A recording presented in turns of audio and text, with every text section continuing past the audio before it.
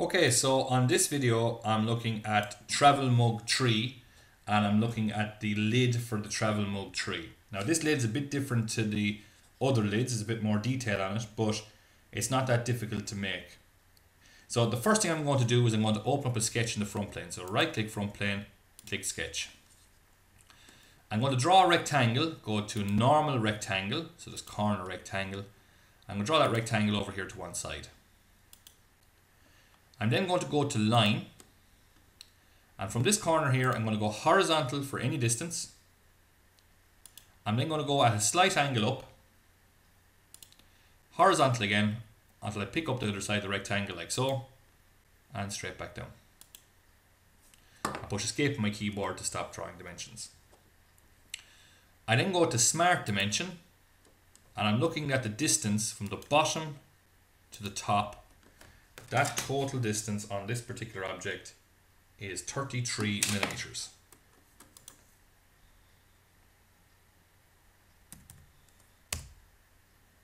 No, okay, so that was the scale. Then the next thing I have to work out is just this particular measurement here. So the thickness of that there, that top line, it is so much of the 33 its distance altogether has to be 20 now I've just realized I've actually made a slight mistake folks. I have the 33 in the wrong place. I'm going to X out that. I'm going to delete that for the moment. And this here unfortunately has to be more than 15 because there's a lip up on this. I'm going to make that to be 25 for the moment. Okay that's better yeah. Now, and then the bottom rectangle, its distance altogether is 18. So this distance here is 18.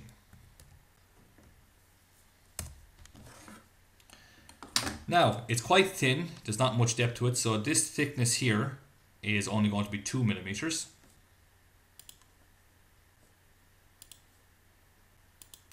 So that line there is 2.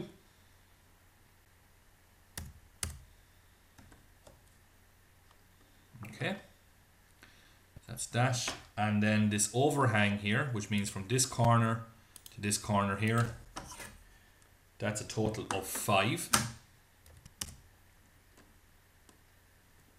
And the top piece up here, that line there, that is a total of two again. That's great. I'm then going to go to fillet. I'm going to set the fillet to 1 on the left hand side. I click this dot here, click this corner here, click this corner here. Oh, it's picking up the wrong way, so I'm going to undo that. I'll do that afterwards. Just those two then for the moment. Click the green tick.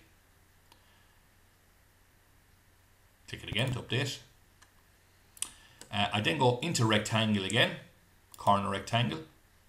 And it's going to zoom in down here I'm going to just pick up anywhere I like down here on this line. I'm going to draw a rectangle into the object like this. Smart dimension. The distance from the bottom of that rectangle to the bottom of this is a total of 3. That thickness there is a total of 2.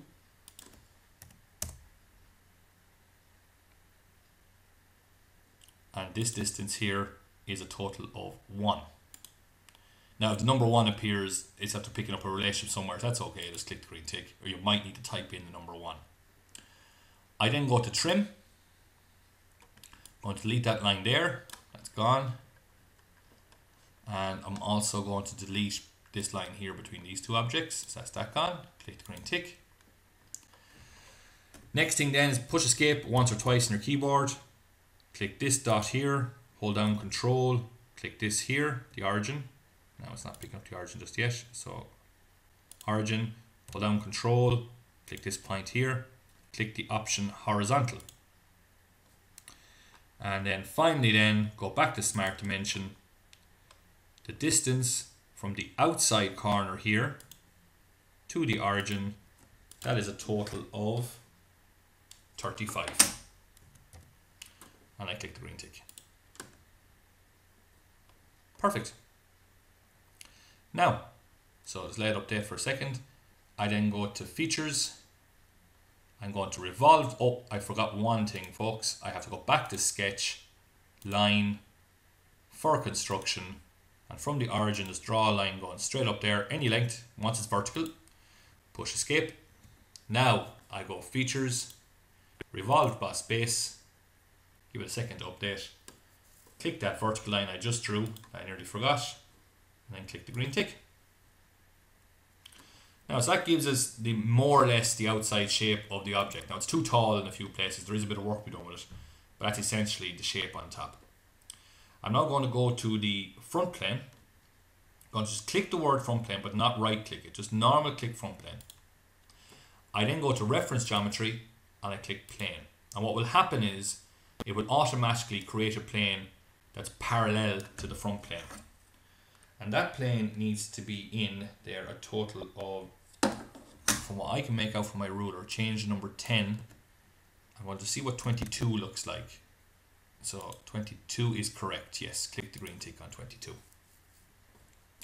Now we're going to open up sketch. So right click on that plane anywhere you like. Click the button to the left of the glasses, hit the space bar and click normal 2. Now we're going to do a three point arc. So I'm going to go to three point arc, click down the drop down arrow, three point arc, let update. I want to pick up that middle point there. I'm going to go right over to the far side and pick up the opposite middle point. And then I want to just go up here. This takes a little bit, it can be a bit tricky, but I want to pick up the bottom line there. Not the top, the bottom one. Click again. When I have that done, I click the green tick. I'm then going to go to line, and the next shape doesn't matter. I'm just going to go from there, up here somewhere, horizontally across, back down inside. Again, that shape does not matter. There's no measurements for this. Click the green tick, click it again to make sure it's okay. I go to features, I'm going to extruded cut. And I'm going to change it, the direction, the opposite way. I'm going to change it from blind to through all. So just to show you the direction button again, that's going the wrong way. This is going the correct way. When I have that done, I click the green tick. Let update. Now, so that started making the shape, we'll say, that's on the object, okay? There's kind of a curve shape on it. And then all of this material here now has to be removed around from the rest of it. To do that, again, I go to the plane, right click that plane, click the button to the left of the glasses, hit the spacebar, click normal 2. And then I'm going to go to corner rectangle. Apologies, wrong button. I'm going to go to line. I'm going to click that point there I'm going to go right across the other side. And I'm going to continue out horizontal. I'm going to go up. I'm going to go across. Again, there's no measurements here. I'm going to go back down. I'm waiting for it to pick up the dot there. And I go back in again. Have that done. I click the green tick. I go features, extruded cut. And this time I change from blind to through all and I'm making sure it's going that direction, exactly what we have there. When I have that, I click the green tick. Now that's shaping it down to the right height and you still have the curve on top as well, just like that. And there will be a bit of filleting to be done to get it all right, but essentially that's it. Now, okay, the next thing then is that there is a slightly sloped surface inside this and a hole in it for holding where the liquid comes out. So I'm just going to hide this plane because it's going to be a bit um, off-putting. So I'm going to right click plane 1 here on the left hand side, click the glasses to hide it. I'm then going to go to the right plane, right click right plane, going to click sketch, going to hit the space bar, going to click normal 2. Now, what we're going to do now is I'm going to go to line and I'm going to click for construction. I'm going to pick up the midpoint here and I'm going to go up to this top inside corner up there. It'll eventually pick up an orange dot for you there. Perfect. Click the green tick when you have that done. Oh, sorry, push escape on your keyboard and then you're done drawing that line. You can then exit the sketch. Now, so that's that part done. The next thing is, I want you to click reference geometry, click plane. I want you to click anywhere on this flat surface here. Ignore what happens. Just click anywhere on that flat surface and then click that dot there at the very end. When that happens, the plane will be parallel to the bottom and on that dot, which is what we want. Click the green tick. Spin this around until it's in 3D. Right click anywhere you like on that plane. Click sketch again. Hit the space bar. Click normal 2. Now it's actually the wrong way around. Just going to spin around. I can see it this way for myself. And I'm going to go to line again. I'm going to click midpoint line for construction. And I'm going to pick up, let me see now, make sure I pick up the right dot. So it is at the front, yeah. So this dot here, I click the end of that line anywhere I like. Drag to the left or to the right, you see a line going in both directions. The length of that line is irrelevant, so draw a nice long line. When you have that done, push escape on your keyboard and then exit the sketch. Now, we're going to use them lines now to make up a plane at an angle. So go to reference geometry, click plane, wait for it to update. Click this dot here at the end of the line, click this dot here at the end of the line, click that dot there at the end of that line. When that happens, click the green tick. Now you have a plane that's at a slight angle inside the object, which you can see here. So the slightest angle, which is what we want. Right click anywhere you like in that plane tree, click sketch again, hit the spacebar, click normal 2. Hit spacebar again, click normal 2. Now, because that spins it right around the right way. Click convert entities. And you want to pick up this inside line here. When that happens, click the green tick. What you now have is an ellipse drawn on the inside of the mug or the mug lid, which is what you want. Go to features, extrude boss base, change it from blind to mid plane, and the thickness has to be 2. When that's done, click the green tick once, click it twice for the update.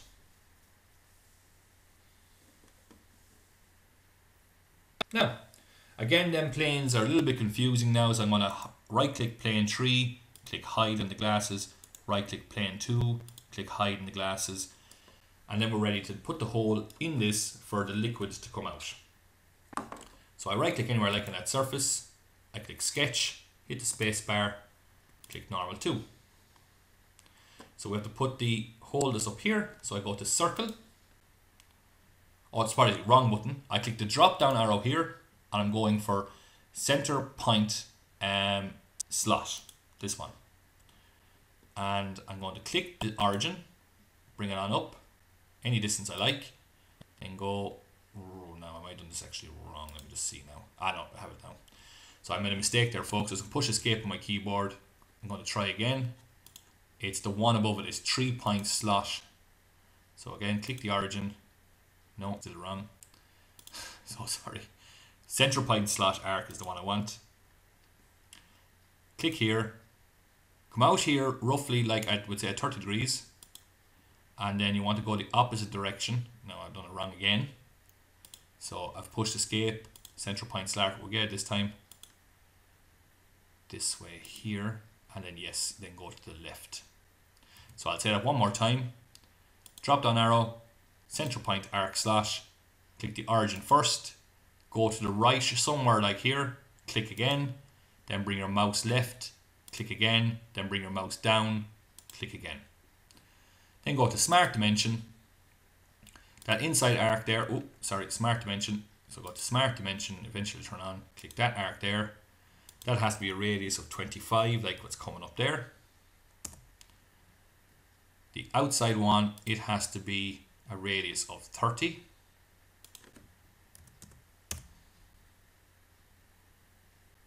And this arc here, it is exactly what it says in the tin. It has to be 2.50, so you can click OK on that.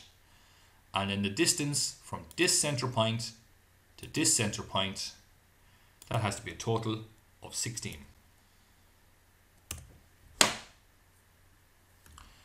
Now, so when we have that done, uh, I just might, might notice I might have moved over slightly, folks. So I'm just going to see if I can click this line, hold down Control, click that dot there, and then you want to click the option constant. Now it's in the middle again. And click the green tick. Features, extrude a cut, change it from blind to true all, and click the green tick.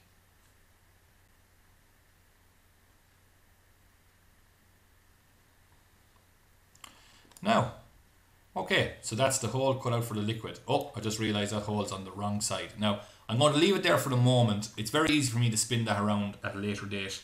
Um, leave it there for the moment, and when I'm doing the assembly, I'll fix that problem then. But for the moment, it's fine where it is. Makes no difference for the moment. It, it's very easy to fix that. I'm going to go fillet. Uh, there's a few fillets to go on this before I go any further.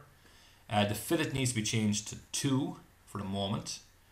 This edge here has to be 2 and so does the outside. And we click the green tick on that. Let update. Then go back to fillet again.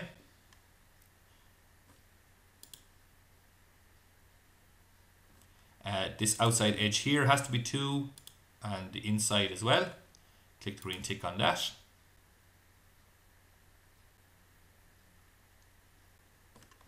Now, the last thing then is there's a small little part here that has to try and fill it in as well. Click fillet. It's on both sides. We're going to try two, clicking this edge here, let update. Okay, two is too big, so we'll try one. Yeah, one is the number. Now one was working fine there, so I'm going to just try it again. X out of it, fillet. I might change it to 0 0.8 click this here and do the same on the opposite side 0 0.8 click the green tick hit update and then that's it. Okay so you can save it at that for the moment but there is a design that goes around the top of this as a hand grip which I'm going to push onto it now. Okay so to do that I go reference geometry plane. When I'm going to click this little plus here, I'm going to click the word top, and I'm going to rise it up quite a high distance just above the object like that, and I click the green tick. Going to right click anywhere on that, going to click sketch, hit the space bar, click normal too. Now, so what I'm going to do is I'm going to go to circle, and just here, in between the outside and this here, I'm going to draw one circle. Now I'm just studying it here in front of me, okay, so it goes down into it.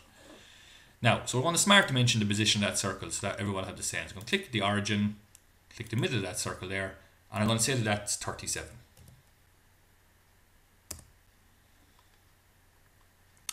And I'm going to say that the radius of that circle there is 2.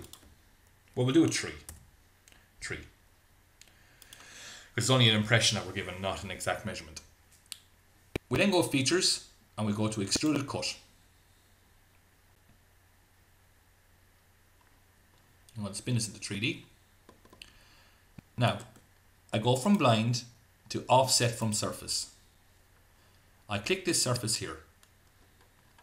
Okay, so you can see that's cutting down into it. Now I might need to make the circle a little bit bigger because it's a little bit too small, I'd say. Uh, I'm going to click reverse no sorry, I'm going to leave off reverse and I'm going to change from 2 to 3. No, sorry, it was actually corrected 2. No, I want to untick reverse, that's what's causing the problem there. So make sure reverse is not ticked. So change the 3, offset from surface, I click the green tick.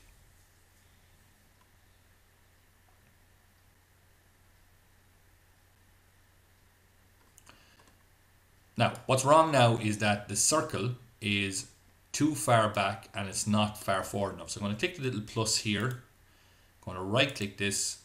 I'm going to click edit sketch. Again, I hit the space bar and I click normal too. I'm going to change the 37 to make it slightly bigger. I'm going to try 40. See how that looks. So double click 37. I've changed it to 40. And I'm going to leave the tree as it is. I'm just going to click the purple button here, the exit sketch button, and we'll have a look and see how that looks. nearly there. I think 40 was actually too far to go. That's the problem. So again, click the plus here, right click this, first button there, hit the space bar, click normal 2. I'm going to change it to 38. And I'm going to increase it from 3 to 3.5. Double click that 3.5. And we'll see how this looks. Might have to do it at 39, I'm not too sure. You see, it's kind of a trial and error thing this until I see how it looks and I get the closest impression I can. Okay, so the problem there now is the 38 is too far back, so I'm going to right click this, edit sketch again, and I'm going to try 39, see how that looks. Double click to 38, set to 39, click the green tick, click the purple button again.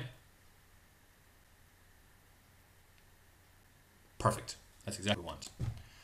Now we're going to pattern that around, so it kind of it goes around 180 degrees. So I'm going to go to linear pattern, click the drop down arrow underneath, going to click circular pattern.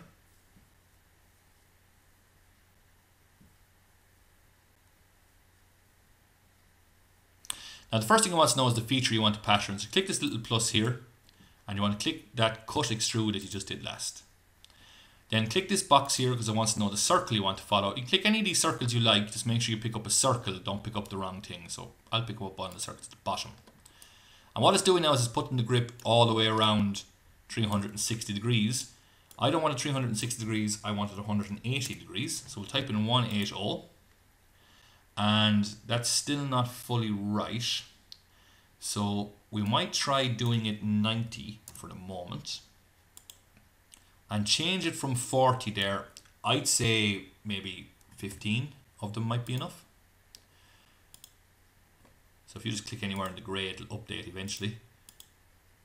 So 15 is too many, so we'll change it back to 10. Yeah, 10 is what we want. Now, the problem is I want to get it to go the opposite way. So I have all that done. So if I click the green tick again, that'll do one side perfectly. And then if I go back into this again and go back into circular pattern again, and I click the plus and I make sure I click this thing here. Now it's already picked up this versus wrong, so I'm going to just right click that, click delete. I want cut extrude 4. The circle, again, pick up a circle at the bottom. And if I click the little arrow button here, it'll pop it out the far side. It's still 90 degrees, it's still 10. So I click the green tick. Lovely. Okay, so that's the grips on. Now that hole is the only thing that's incorrect, so I'm actually going to fix that now. So that is this one here, cut extrude. I'm going to click the plus, I'm going to click the sketch, I'm going to edit sketch. I'm going to hit the space bar, I'm going to click normal too. Now the way we can fix this, there's a couple of ways, but this is probably the fastest way. I'm going to go to line, I'm going to click for construction, and I'm going to click a horizontal line coming from the origin left or right. Length is irrelevant. Push escape on the keyboard. I'm going to go to mirror entities and I'm going to tell it I want to mirror this um, and I want to mirror it about this. That'll put the slot out the far side. Click the green tick. Then go to trim and delete what you just mirrored. Totally delete it. Wipe it out. Draw a few lines over it. It's okay. That comes up. Click OK. Might need to delete a few more times. Delete there again. Delete there again. Click the green tick. And then click the exit button here. Now what should happen, so okay, it's saying there's a problem there, so I'm to push cancel. Oh, I see there's still a bit of an arc there, so I need to delete that. There we go. Now what should happen is it should update and do the hole out the far side. Yeah, so there we go. Now it's at the right side. So it wasn't that big of a job to fix. And then what we do now is we go File, Save As, and we're going to call this uh, part to uh, travel mug tree lid and click save. Make sure you email it to yourself and email it to me or wherever to make sure you have a backup copy. Okay, that's it. Thanks very much.